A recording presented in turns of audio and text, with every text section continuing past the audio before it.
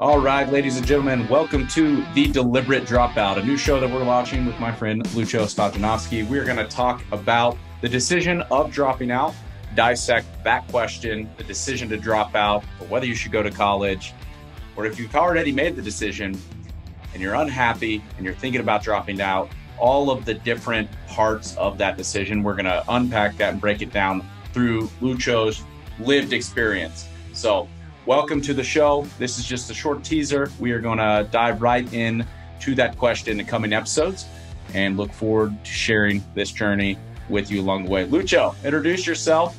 Tell us, you know, tell us a little bit about your decision to drop out the 30 second version.